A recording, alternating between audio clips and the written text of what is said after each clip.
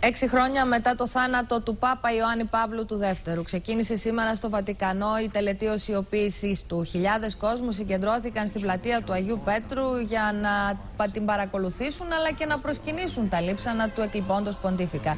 Μεταξύ των επισήμων καλεσμένων βρίσκονται ηγέτες 16 χωρών. Προκειμένου να ανακηρυχθεί Άγιος ο Πάπας ε, Ιωάννης ε, Παύλος ο Δεύτερος, η Καθολική Εκκλησία πρέπει να αναγνωρίσει ότι πραγματοποίησε ένα ακόμη θαύμα.